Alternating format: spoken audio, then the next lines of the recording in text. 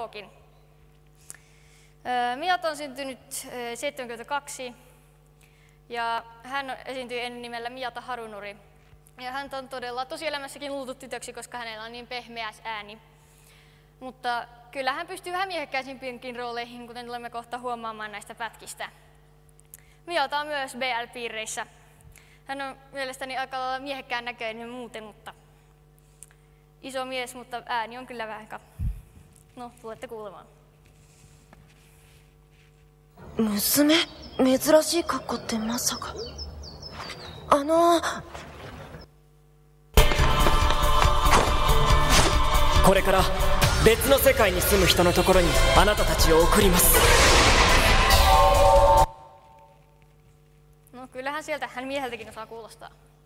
Nakao Ryusei, yksi omista suosikeistani. Nakao on myös kasari tähtisukupolvea niin sanotusti. Hän oli siinä Gekidan himavarissa, josta myös Furuya Toru on. Ja hän myöskin debytoi lapsinäyttelijänä animessa Uchu Patrol Hoppaa. Hän joutui kuitenkin jättämään roolin kesken ilmeisesti koulun takia jostain vaiheessa, mutta opintonsa suoritettuaan muistaakseni sitten palasi ääninäyttelemisen pariin. Hän ei aina esittänyt, kuten hänet nykyään tunnetaan, pahiksista vaan oli myös esimerkiksi päähenkilönä Igano Kabamaru-animessa, jota ei sitten saa millään mistään, josta olen hyvin katkera. Mutta sitten kun Dragon Ball Z tuli ja Nakao sai siitä Freezan roolin, no siitä sitten ikuisiksi ajoiksi suunnilleen joutui pahisten rooliin, mikä on ihan hyvä, koska hän tekee sen suunnattoman hyvin. Hän todellakin osaa esittää todella kauhistuttavaa pahista. Hän on pelotellut seiyuu-kollegoitaan esimerkiksi Bleach radioshowssa Morita Masakazu oli hänen uhrinaan siellä Ichigon ääni. Ja Nakao tunnetaan myös siitä, että hän osaa erittää erilaisia pikkuelukoita ja avaruusolentoja, kaiken näköistä tällaista. Hän itse asiassa jossain vaiheessa 90-luvulla valittikin, että hän ei ole pitkään aikaa saanut sitä oikeaa ihmisroolia. Tästäkään listasta ei löydy valitettavasti yhtään ihmisroolia varsinaisesti.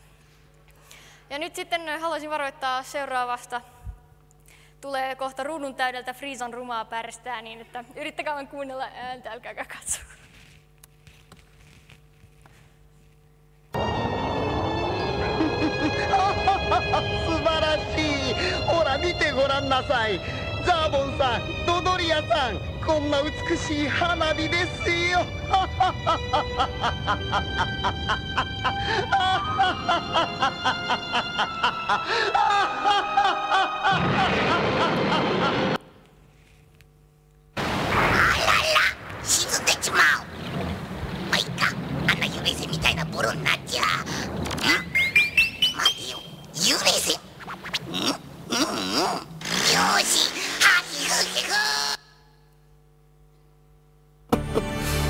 猿芝居はやめたまえよ。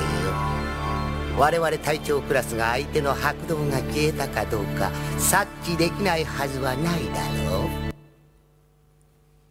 早くムミダリに帰らなくちゃ。たった3日だわ早く助けて。早く Nipsuporka. Seuraavana onkin Nakata Joji. Nakata on mielestäni vähän samaa sukupolvea kuin esimerkiksi Nakao ja Furuya, mutta hän ei kuitenkaan ääninäytellyt pitkään. Hän oli ensin Jidaigeki ja Tokusatsu-näyttelijä.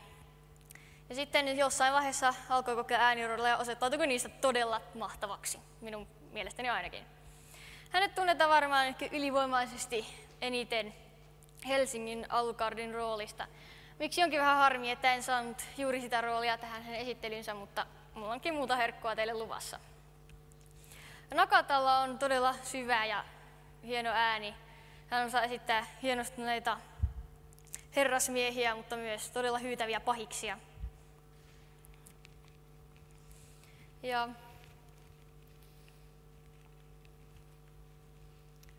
Olisiko meillä muuta sanottua vielä hänestä, niin kuin on teidän kuunnella itse? No jospa se. Hän puhuisi eniten omasta puolestaan. 逃したか。ハーティアお前は屋敷の警護に残れ。闇色の夢から目覚め。死の底よりよみがえりし背徳の子よ愛することも愛されることも知らぬ。美しいお前。呪いなり。呪いなり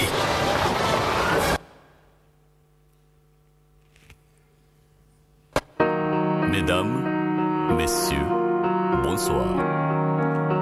À la propriété Europos en passé défendu, mon ami a invité trois familles. Kyllä tuosta ihan selvän sain. Ö, Ääninäyttelijät joutuivatkin joskus moisiin hankaliin tilanteisiin työssään, joutuvat puhumaan vieraita kieliä. Esimerkiksi Sakura Taisen ö, ryhmän ääninäyttelijöistä monet ovat joutuneet Öö, muistan ainakin erikielisiä versioita shown tunnuslaulusta, joissa sitten ääninäyttäjät ovat joutuneet laulamaan milloin venäjäksi, milloin kiinaksi. Öö, varmaankin aika vaihtelevalla menestyksellä, mutta on hankala sanoa, jos ei itse kieltä osaa. Mutta siinähän näytti Nakata hyvin suoriutuvan vaikeasta tehtävästään. Ja seuraavana onkin sitten seijumaailman legenda Nozawa Masako. Lähinnä hän on niin legendaarinen Japanissa, koska hänet muistetaan Dragon Ball Zasta tai kaikista Dragon Ball-animeista Son Gokun roolista. Tanosa on esittänyt ainoastaan Gokua sekä lapsena että aikuisena, vaan myös hänen poikaansa Son Gohania lapsena sekä aikuisena tai nuorena miehenä. Ja Gokun toista poikaa Son Gotenia. Ja lisäksi myös Gokun isä Bardokia yhdessä spesiaalissa. Ja no, Nozoa onkin erikoistunut tällaisiin tupla, tripla, neloisrooleihin. Muun muassa Xerion OAVssä hän myös esittää ö, ainakin neljää roolia muistaakseni. Nozoa tunnetaan erityisesti siitä, että hän on esittänyt nuoria poikia, se on se oikein sankarillisia monissa virstanpylväs-animeissa, kuten Gegege no Kitaro ja Galaxy Express 39. Nykyään Nozoa kuitenkin syntyi vuonna 1936, joten hän on aika iäkäs ja hän on siksi vetäytynyt hieman nuorten sankarillisten poikien rooleista ja esittää mieluummin omanikäisiä naisia, kuten tulette pätkän lopussa huomaamaan. Öm, mutta silti hän on sanonut jatkavansa äänetlystä niin kauan kuin jaksaa hengittää, mikä on minusta erinomainen asenne tähän työhön. Nozoa on erittäin innostunut yhä edelleen tästä hommasta ja se on minusta erittäin hienoa. Olisin halunnut tähän Dragon Ball-pätkiä, mutta niiden teknisten ja materiaaliongelmien takia en sitten pystynyt, mutta saatte kuulla hieman muunlaisia näytteitä Nozawan repertuaarista. 分かってないとなんだお前はよくもよくも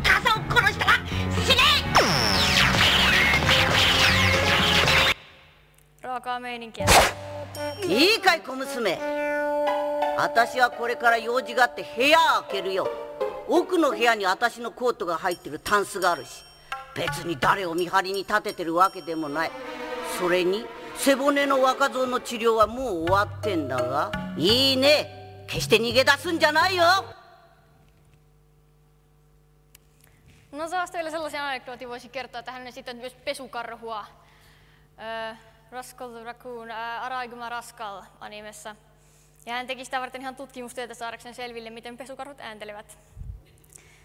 Mikä on myöskin seuraavan ääninäyttelijämme Ogata Megumin periaate. Hänen mukaansa myös ääninäyttelijän tulee kerätä mahdollisimman paljon elämän kokemusta, jotta hän sitten todella tietää, miltä sellaiset asiat tuntuvat, mitä hänen omat hahmonsa tarinassa kokevat.